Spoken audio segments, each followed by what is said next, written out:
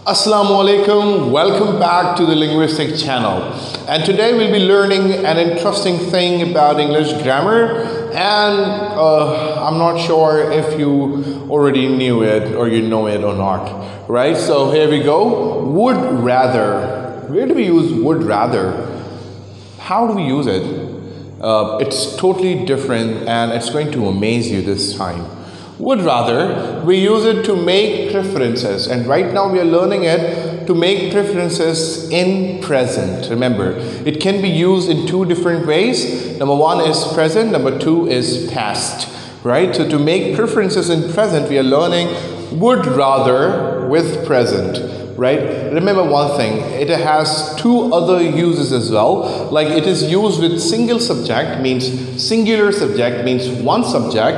And number two is dual subject, means they are used two subjects as well. Single subject does not mean third person singular or a singular subject like I, she, he, it. It can be used with they, we, you as well.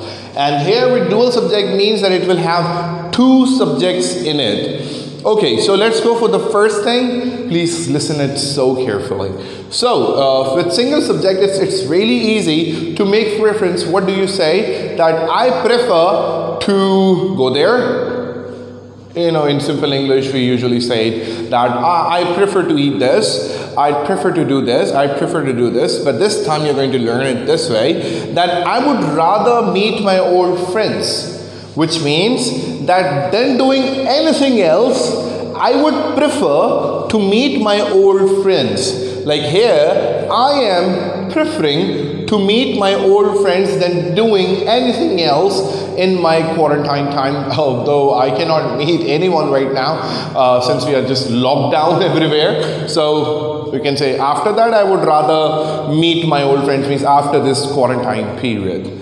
Next is she would rather go to her grandmother's house right? Means that she prefers or she would rather go to her grandmother's house than going anywhere else or than meeting anybody else. Or you can say that i would rather teach than doing an office job. Or you don't actually need to mention it then. I'm just doing it for your convenience right that you would be able to understand it in a better way but when it comes to dual subjects the confusion occurs, right? Okay, let me just underline the subjects here for your understanding. Okay, so there are only, uh, in, in one sentence, there is only an object, I mean the subject, and with a dual subject we have, when we make preference for somebody else, right? So here when you you make preference or i make preference or somebody else makes preference for me or somebody else right? Remember there we use would rather for dual subject. And the rule is that we follow past simple tense here. As you see i have used here the past form the second form and did the helping verb of past simple tense. So here she is saying that she would rather i bought this shirt means that she prefers for me to buy this shirt than any other shirt right? So she would rather I bought this shirt. Now you're going to be amazed, sir. why are we using past tense over here? So dear fellows, what color of shirt you're wearing right now? Might be blue, black, white. Why is that called blue, black or white?